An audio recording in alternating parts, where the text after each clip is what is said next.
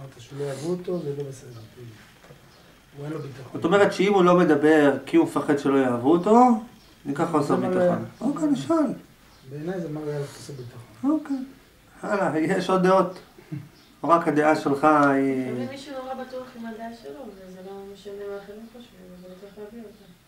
זה נכון, אבל אם הוא לא מביע את דעתו, מה שאמרת זה נכון, אבל מצד שני, אם הוא לא מביע את דעתו, כי הוא לא רוצה נגיד שיצעקו עליו, יכעסו עליו.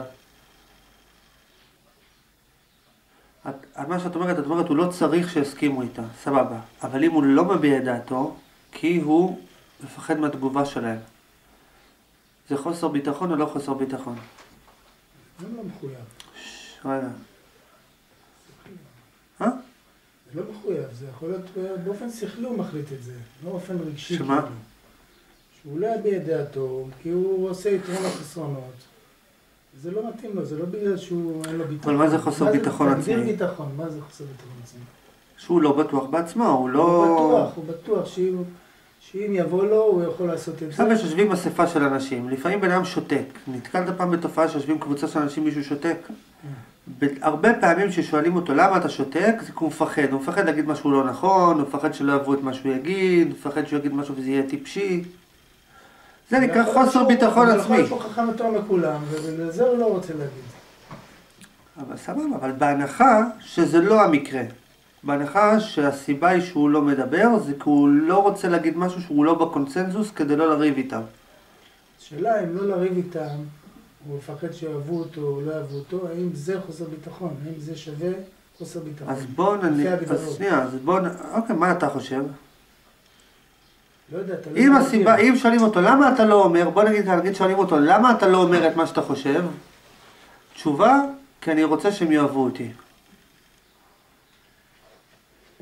מה הבעיה עם זה? אה?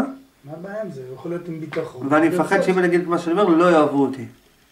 כן, אבל עדיין, האם זה שהוא מפחד שלא יאהבו אותו, זה שווה לחוסר ביטחון, לפי הגדרתך. מה זה, אתה יכול להגיד שגם חוסר ביטחון זה גם לא רע, אבל מה, מה זה חוסר ביטחון? אז במה זה תלוי לדעתך? מה ההגדרה שלך?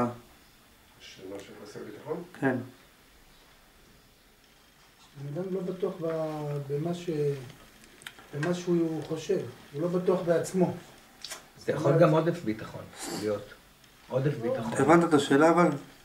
מה, מה קשור עודף ביטחון עכשיו? מזה שהוא כל כך בטוח בעצמו, עד כדי כך שהוא לא מרגיש צורך אפילו לנסות לדבר לאחרים, זה עודף כן. ביטחון. כי הוא פשוט לא רואה אותם ממטר, הוא רוצה שיאהבו אותו, ומעבר לזה הוא לא רואה אותם ממטר. מה זה אומר? אז הוא רואה אותם אה, מילימטר. לא, כלומר, לא, כלומר הוא כל כך, הוא קולט שנגיד בן אדם שהוא כל כך בטוח בעצמו, שהוא רואה עד כמה הם לא, לא מחוברים למה שהוא מחובר, והוא רוצה שיאהבו אותו, בלי קשר, כי הוא חי פה, והוא לא מחפש את המלחמות, אז זה בכלל לא עודף אז הוא רוצה שיאהבו אותו. הוא לא מרגיש חיסר, בן אדם שהוא כל כך אז הוא רוצה שיאהבו ביטחון, אותו, אז אין לו ביטחון עצמי, לא, מה לא. יקרה אם לא יאהבו אותו? הוא לא מרגיש חיסרון מזה שהוא לא מביע את דעתו, כי הוא כל כך בטוח בעצמו שהוא לא צריך את החיזוקים של ה... אבל אם הוא לא צריך את החיזוקים, ו- שנייה, אבל הוא לא רוצה להיפגע מהם, נכון? אז הוא לא, אז אין לו ביטחון עצמי, כי הוא מפחד מהם, הוא מפחד מהתגובה שלהם. לא, הוא יכול להחליט. רגע, שנייה. אתה הבנת מה אמרתי? כן. הוא מפחד עדיין מהתגובה שלהם, אז שיגיד להם לפי איך שאתה תיארת. כן. אבל בהנחה. שזה המקרה. אם הוא מפחד מהתגובה שלהם, ואם הוא רוצה להביע את עצמו באותו עוצמה, כמו שהוא מפחד, אז הוא בבעיה, זה חוסר ביטחון. אבל אם יש לו, הוא רוצה יותר אה, שיאהבו אותו, אם הוא רוצה יותר שיאהבו אותו, אה, מאשר להביע את. דעתו, אז הוא לא מרגיש חיסרון מזה שהוא לא מביע את דעתו, וזה לא בהכרח חוסר ביטחון. זה תלוי בהגדרה של חוסר ביטחון. ביטחון במה? ביטחון ב- בשכל שלו, ביטחון בעצמו, ביטחון בדעה שלו. ביטחון בזה שיהיה לו טוב בלעדיהם. אה, ביטחון ש... שיהיה לו טוב בלעדיהם? אז מה, הוא רוצה אבל להיות... למרות שהוא יש לו ביטחון בלעדיהם, פה בתשובה התשובה על זה, הוא יכול לבחור להיות עם ביטחון איתם, כאילו. לשחק את המשחק הזה. זה אחד. שתיים, הוא יכול לבחור להגיד להם, לשקר להם, להגיד להם דברים טובים וזה, ולהיות כאילו בראש שלהם. אם הוא אז זה חוסר שיאהבו ביטחון. אותו. אם הוא רוצה שיאהבו אותו, הוא יכול כאילו גם לעשות את זה. אז בואו נתחיל מההתחלה. אז לא- במה זה תלוי? אז בביטחון עצמי אמיתי, נניח שההגדרה של ביטחון עצמי זה שאתה לא תלוי באף אחד בשום דבר. לא רק לא תלוי באף אחד בשום, בשום דבר, לא תלוי בשום דבר בכלל, באופן כללי. זה לא אמיתי. ואין דבר כזה. אבל לא אכפת לי אם יש דבר כזה, לא, נניח שיש, נניח שזה לא משנה, אבל נניח שזה הביטחון העצמי אידיאלי. שאתה לא תלוי בכלום, מה זה אומר לא תלוי בכלום? בקצה שלו זה לא תלוי בלהרגיש טוב. מבחינתך אם תרגיש טוב או רע זה לא משנה לך, אתה לא צריך שום דבר מאף אחד, יאהבו אותך, לא יאהבו אותך, ישנאו אותך, יהרגו אותך, לא מעניין אותך, בסדר? עכשיו העניין הוא שאחרי שבן אדם, עכשיו מי שיש לו את זה יש לו ביטחון עצמי, מי שאין לו את זה אין לו ביטחון עצמי. שנייה, זאת אומרת, לא, שנייה, שנייה, זאת אומרת, גם אם אתה נכנס בין אנשים ואתה לא מפחד מלומר את דעתך, אתה עדיין בלי ביטחון עצמי. כי בסופו של דבר, אתה עדיין תלוי באיזה... תסתכלו טוב טוב, או שאתה, או יש, יש כמה וריאציות, יש וריאציה אחת שאומרת, אני לא מביע את דעתי מחוסר ביטחון עצמי. למה אתה לא מביע את דעתך? אני מפחד שלא יאהבו אותי. אבל יש וריאציה שאומרת, למה אתה מביע את דעתך? גם מחוסר ביטחון עצמי. מה זאת אומרת? כי אתה רוצה שיאהבו אותך. למה אתה מביע את דעתך? כי אני רוצה שהם יאהבו אותי, אני רוצה שיקבלו את מה שאני אומר, אני רוצה שיסכימו איתי.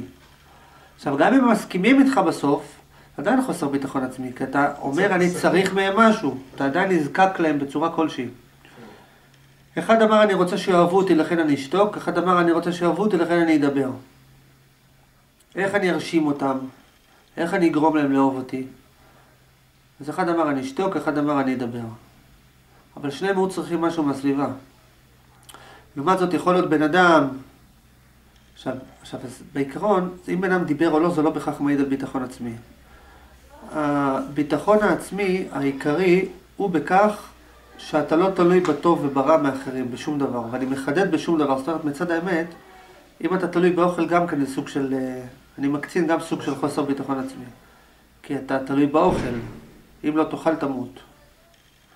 עכשיו, אחרי שבן אדם יש לו ביטחון עצמי, שנייה, שנייה, אחרי שבן אדם יש לו ביטחון עצמי, והוא לא צריך אף אחד בשום דבר, עכשיו יש חיים. בא לך לחיות את החיים. החיים תלויים בזה שתהיה תלוי בדברים אחרים, שהטוב והרע שלך יהיה תלוי בדברים אחרים. בזה החיים תלויים.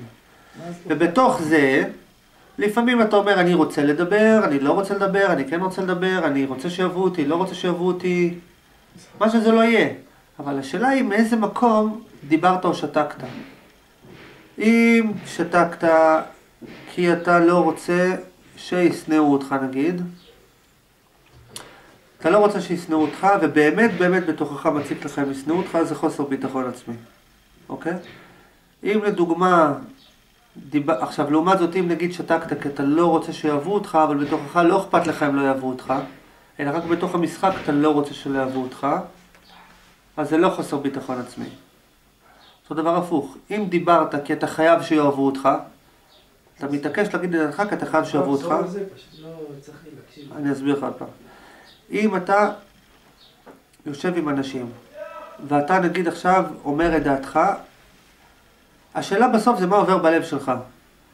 אתה בסוף יכול לבחור לדבר, יכול לבחור לא לדבר. אתה יכול להגיד, אני רוצה לדבר כדי שיאהבו אותי, ואתה יכול להגיד, אני רוצה לא לדבר כדי שלא יאהבו, אני שותק כי אני לא רוצה שלא יאהבו אותי, זה בסדר.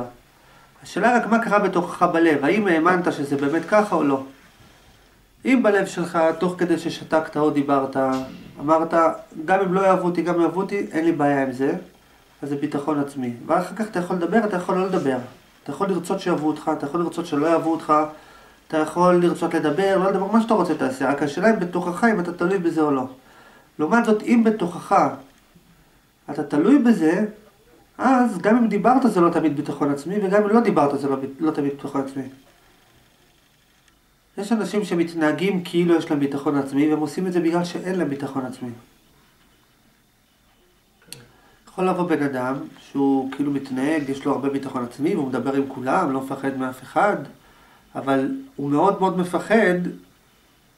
לדוגמה, שמה יקרה אם יום אחד לא יאהבו אותו בכלל, או מה יקרה אם יחשבו שאין לו ביטחון עצמי, אז הוא אומר אני אוכיח שיש לי, או כל מיני חישובים, הוא עושה חשבון לאחרים. יש ברבי נחמן דבר שנקרא אה, הזמרה לאלוהי בעודי, משהו כזה. אוקיי? אז הוא אומר שגם כשאדם מתפלל, אז הוא כאילו צריך שלא, שהוא לא יהיה נזקק לבריות. זאת אומרת שהוא לא יצטרך לקבל מהם כלום, כי ברגע שהוא צריך מהם משהו, אז לפעמים אפילו הוא מתפלל, אבל הוא מתפלל יותר טוב ממה שהוא היה מתפלל ברגיל. כאילו הוא מתפלל, אבל הוא כאילו זז יותר בהתלהבות, כדי שיגידו, וואו, איזה צדיק הוא נגיד. משהו כזה. אז הוא אומר, אפילו אם אתה מתפלל יותר מדי טוב, בשביל אחרים גם זה לא טוב. אפילו לפעמים זה מול עצמו, בן אדם רוצה לחשוב שהוא צדיק, אז הוא כאילו מתפלל, אה, אתה אה, איזה צדיק אני. הוא מנסה למצוא חן בעיני עצמו, כי הוא לא מוכן לקבל את עצמו איכשהו. שם. הצדיקים הכי גדולים. נופלים. אה? בכבוד, שם הם נופלים. מול עצמם אבל. מול עצמם. הייתי רוצה להוסיף... עכשיו, מה האמת? עכשיו, מה האמת? כן, מה אתה רוצה להוסיף קודם כל? שזה לא, אה, כשאתה מדבר על ביטחון עצמי וחוסר ביטחון עצמי, זה לא מוחלט לגמרי במאה אחוז, אלא באחוזים יש פה. בן אדם יכול להיות 80 אחוז עם חוסר ביטחון ו-20 אחוז עם ביטחון. זאת אומרת, יש פה גם מינונים. אני המהות של מה שרציתי להגיד, שאתה יכול לשתוק או יכול לדבר, ולהרגיש. וזה לא קשור בהכרח, זה נכון שמישהו שתלוי באחרים, והוא מפחד שלא יאהבו אותו, והפחד שלא, שלא יאהבו אותו מאוד מאוד גדול, הוא ישתוק. זה נכון, אבל זה עדיין לא אומר שמי ששותק זה בחוסר ביטחון עצמי. יכול להיות שהוא פשוט לא רוצה לדבר, כי הוא מעדיף לא לדבר, כי הוא בוחר לרצות שיאהבו אותו, ולכן הוא לא מדבר, אבל כי ככה הוא בוחר לחיות את החיים, לא בגלל שזה כאילו, כמו כל בחירה שהוא בוחר. עכשיו, מה האמת היותר פנימית? שמה זה משנה בכלל?